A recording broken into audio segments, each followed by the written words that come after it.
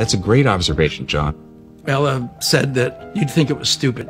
No, I said I thought it was stupid. Okay, you know what? This is good right here. I mean, the God of War dynamic plays out in every parent child relationship. When that clicked for me, I picked up my Leviathan axe and felt truly close to my son for the first time. I'm 17. Exactly. Leviathan. Axe. Bronny, what's going on, man? You're a little quiet today. Anything to add? No. No is good. No counts. You know, Quin was where you're at about a month ago, and uh, look at him now. Okay, last night, 2 a.m., I'm laying in bed. What am I thinking about? Kratos. Are you kidding? That's me. Big time. That's, that's common for me. We believe you. You're Being too thirsty. No, I'm hydrated. Specifically, the time he tried to protect Atreus from Baldur, and Atreus got so angry he shot Kratos through the chest with uh, one of those, um, like that spiky thingy. There was an arrow. Arrow. Great. spiky arrow thing. I mean, nobody can hurt you like your kids, right? LeBron, Guess so.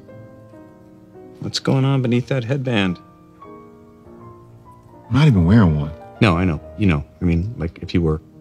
When Bronny said he'd rather play against me than with me. Shot in the heart. Really? I think we call that a breakthrough. Some shots you just can't block. I can see that now, Ben. Hmm. Kratos. I cannot believe I missed practice for this. I want all the breakthrough. Ella, why don't you ever hurt my feelings? Okay, you're old and you're bald. Just like Kratos.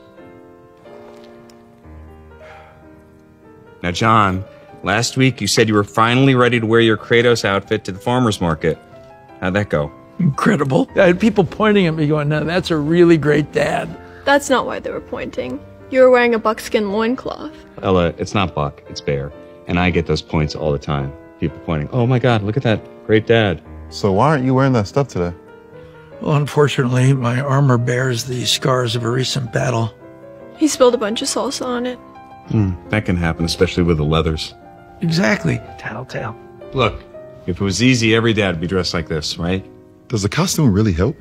Uh, I don't know. Does the costume really help when you play basketball? It is a costume.